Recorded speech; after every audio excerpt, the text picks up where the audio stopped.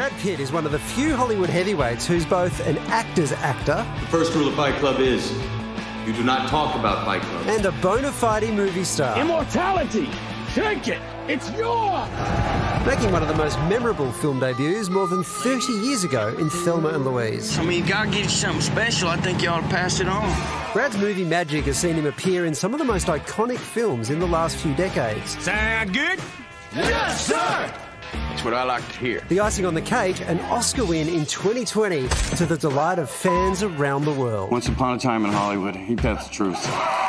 Now he's starring in Bullet Train, directed by a guy Brad has a long screen history with. We met years ago. He was my stunt double. and Now he's my boss. Yep, David Leitch was Brad's stunt double in Fight Club and Troy, and is now responsible for directing him in a high-speed, heist-action film like no other. What am I snatching and or grabbing? A briefcase. You said you wanted simple for your first job back.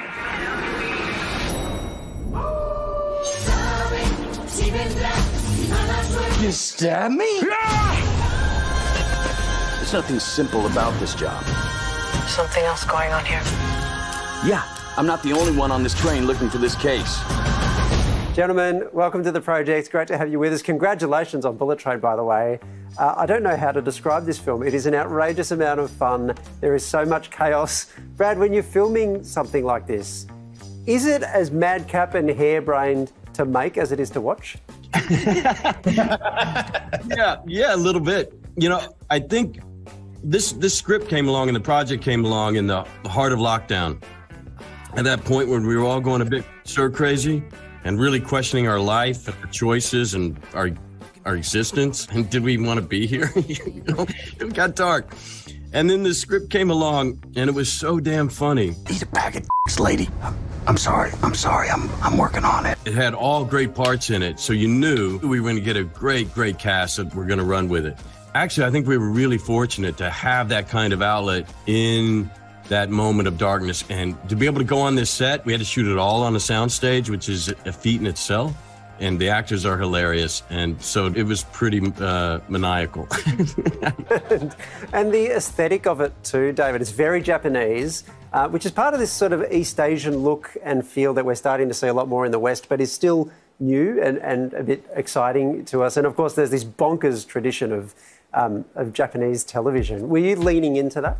All of those little things are touchstones. Like I love hard boiled, uh, you know genre cinema from Japan, from Korea. Like I love that stuff, you know. So we had some of that ultra violence in there, and to make it slightly heightened, so we could go on this journey and accept the absurdity and enjoy it, as opposed to if I think if we grounded it so much, all the weird, unbelievable things just aren't as enjoyable because you're like, what? But in this world, you're like, cool, right?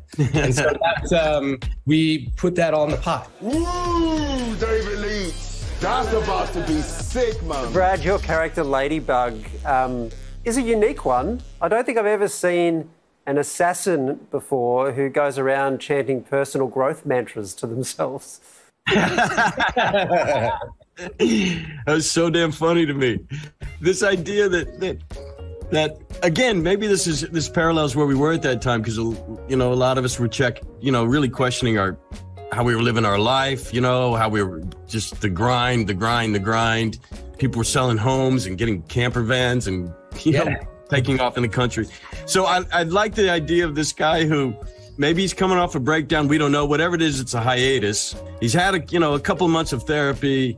He's read a self help book and he's had a couple of epiphanies and he thinks he's he's on his way and that he he's going to be able to deal with these sociopaths and assassins in a different way. You know, through conflict resolution and and a, a win-win situation for everyone. And of course, uh, that doesn't bode well. Sure you want to talk this out? Not particularly, no. okay. It's a it's a hilarious idea, but it also strikes me as a risky one. Like it could easily not have worked. Like at what point did you look at it and go, yes, yes, this is working. When you have someone who's so good at building characters like Brad is, like you you take all those gems that are instinctual that he's bringing, and then we, we just build on them. And when the crew is laughing and the crew is like, I mean, you know, like they're loving this sort of platitudes that he's preaching, and they're offering ones that they have from their own self help. Like people were pitching platitudes. It was pretty funny. Brad, luck is a, very big theme in your character's story arc. Uh, would you say, looking back on your career, that you've been a little luckier than Ladybug? well, Ladybug, oh my God, he just can't get out of his own way, can he? He's such a chump. He's such a chump. Uh, which I can relate to. I think we all relate to a little bit. But I would say fortunate. I, I would certainly say fortunate. But, you know, in the film, I think we're trying to say to Ladybug, you know, it's perspective. And now I sound like a self help book again, don't I? Without giving too much away, though, um, one of the interesting features of your character is his touching affection for Japanese toilets. Do you feel the same way? Yes, I would say that uh, I'm pr- pretty firm on this belief uh, that that toilet paper is an antiquated concept. yes, it's draconian. I don't know why we're satisfied with this. So, I'm really I'm really impressed with the with the smart toilet, the Japanese toilet, and thank God someone was thinking for all of us. Well, I think it's only fair that we finish this interview on the toilet. Yeah. As we all do. Sooner or later. Indeed, words to live by. David, Brad, thanks so much for joining us on the project. Great to talk. Thank you. Thanks much. Thank you.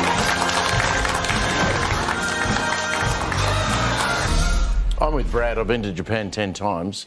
Toilets are fantastic. Is that what you took out? Toilets are unbelievable. I know a mate who loved them so much he imported one and installed it in his bed. I think you might like this film, Pricey. There's, I'm going. The toilet's a bit of a star in it, so. Fabulous. It is an incredibly fun film. Uh, Bullet Train speeds its way into cinemas this Thursday, August the 4th.